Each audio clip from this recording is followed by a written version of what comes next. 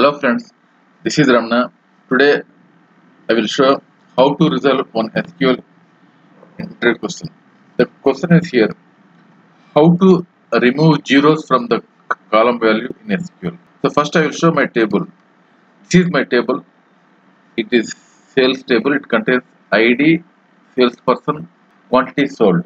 So how much quantity that person has sold. All these are stored in the one table. Now I want to I want to get the output. First will show what I need to get from output from this table. So I want to remove all the zeros.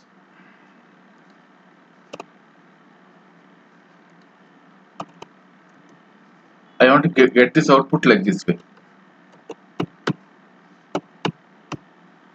So in quantity quantity sold, there I want to remove all zeros, all zeros in the same column, and uh, the output should be without any zeros in quantity sold after executing the query.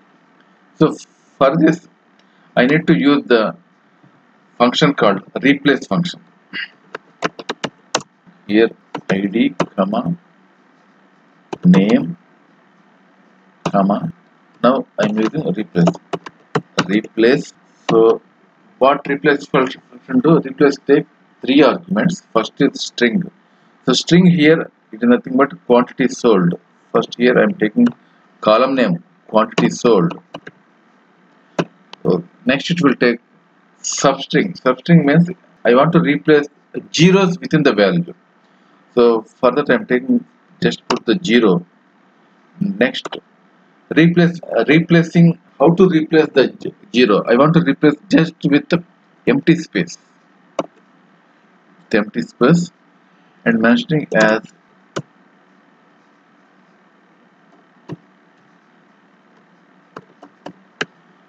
output sold some alias name I'm giving from sales list name name is not there. I need to change it as a salesperson sales person yeah. This is how you need to get if you check the output the same output what I expected in the notepad. Same thing.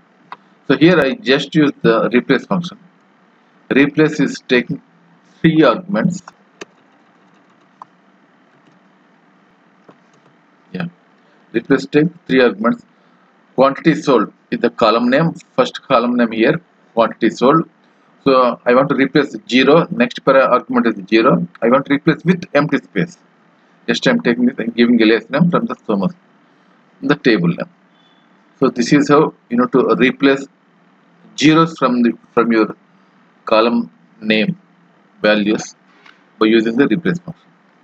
Thanks for watching the video. Thank you very much